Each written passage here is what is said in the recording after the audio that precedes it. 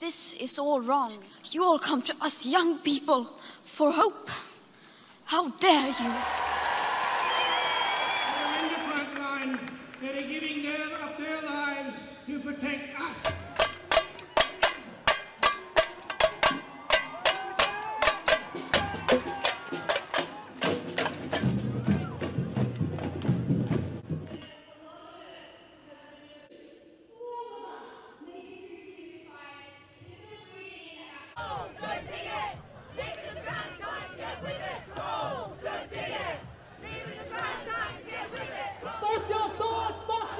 Because I think that the government has just been absolutely despicable in its lack of empathy and doing absolutely nothing for um, for the bushfires and in its climate change policy or lack thereof. Decision that we make, every decision that the government makes.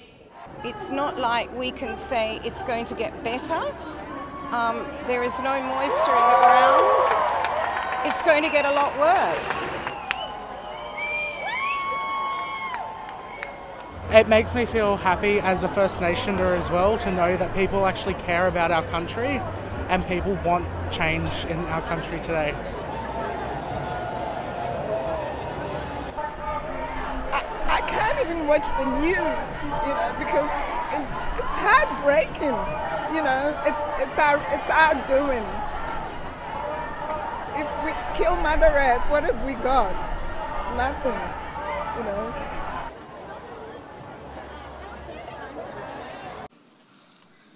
Have stolen my dreams and my childhood with your empty words. And yet, I'm one of the lucky ones. We are in the beginning of a mass extinction, and all you can talk about is money and fairy tales of eternal economic growth. How dare you! Uh, my question is for Greta. First of all, what are you hoping to achieve with this complaint? And on a personal note, um, when you were giving your speech in the UN, it looked like it was um, an emotional speech for you to give. What was so different or what was so special with that speech, and how does it feel now afterwards? Thank you.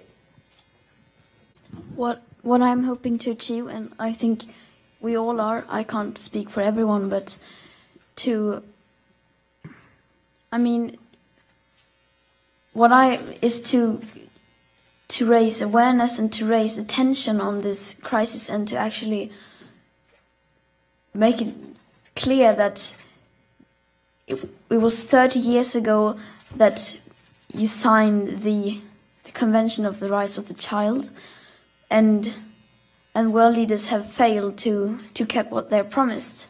They promised to to protect our rights, and they have not done that. So, yeah. I think that is not for this. Uh, Thomas uh, from Sweden's uh, Express, and this is a question for uh, Greta. Would you, um, could you please uh, tell us what kind of message, what you are doing here today, what kind of message would you send by doing this to world leaders? And also can I ask you, um, do you think it's about time that um, uh, President Trump would respond to what you have uh, said today? Um, I think. I'm sorry, what was the first question? What's the message you would like to Yeah. send to our leaders Yeah. by doing what you are doing? I think what we want to send is the message we want to send is to say that we have had enough. And uh, anyone else wants to answer that question? So when I was 11, I became ill. I fell into depression. I stopped talking, and I stopped eating. In two months, I lost about 10 kilos of weight. Later on, I was diagnosed with Asperger's syndrome, OCD, and selective mutism. That basically means I only speak when I think it's necessary. Um, I used to be a climate change alarmist myself because obviously, as a young girl, I grew up around the climate change hysteria. Uh, whenever my beliefs were, were questioned, I was the first one to ask uh, the question uh, So, are you saying that you are a climate change denier? Then, eventually, um, in 2015, roughly, I became a skeptic, and at first, not with regards to climate science, but rather um, with regards to the migration crisis in Germany. Things spiral out of control, and you go down the path of uh, understanding that uh, many topics, such as feminism, gender, uh, socialism, postmodernism, and climate change uh, hysteria, they are all related in some way and um, pave the way for uh, very bad kind of totalitarianism.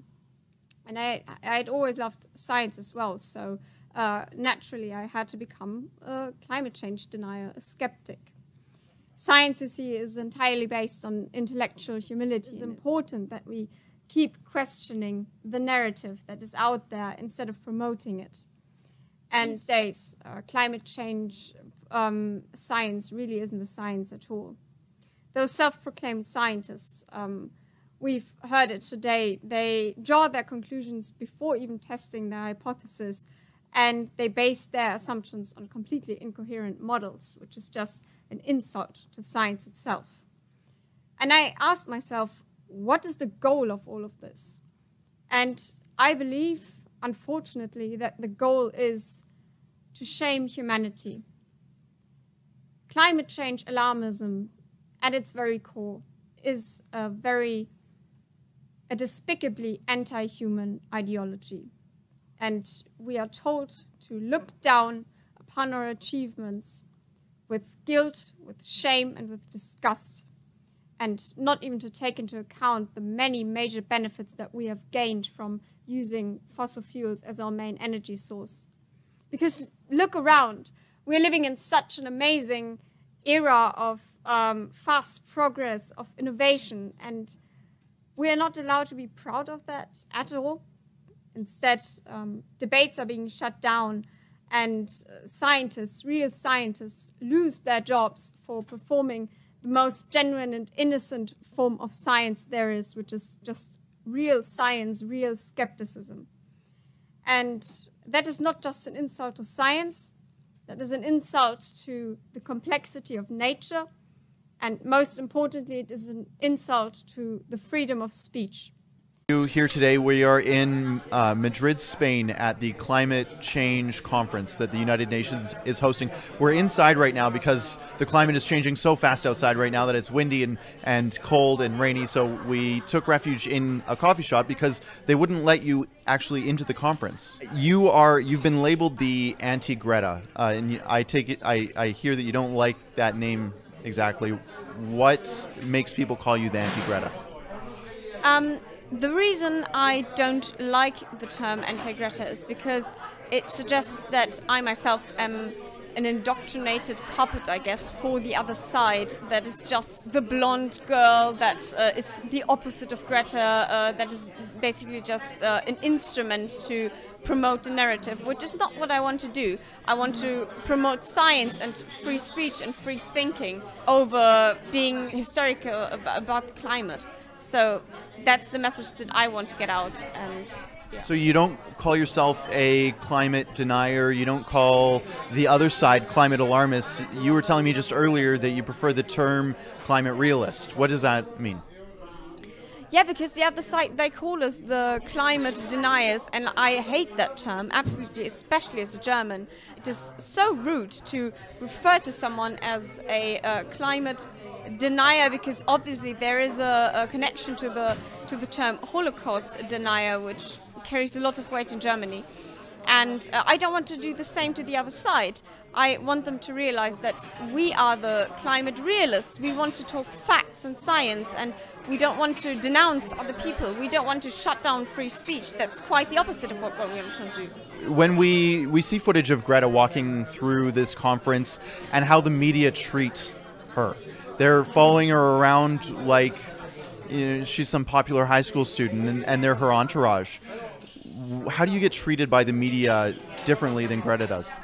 Oh, actually, in Germany, uh, there was a team from the mainstream media who wanted to denounce me as an anti Semite. And uh, of course, I'm being labeled a climate change denier, left and right. It's so, yeah, I'm not being treated very nicely by the mainstream media. So, what is the fault in Greta's thinking? I know that's a big question because Greta talks about a lot of stuff. She talks about people dying. She talks about uh, the globe, global temperatures rising, about ice caps melting. In general, if you could encapsulate what the problem is in her thinking, what is it? She's stuck in a bubble. She only sees what's around her and uh, of course because she's being she's being sheltered by the media by her parents and i on some level i get her i understand her and i don't want to say that she's a brat or that she's um, she she has she's way too privileged to understand that uh, the, the, the struggle that the protesters uh, on the other side are going through.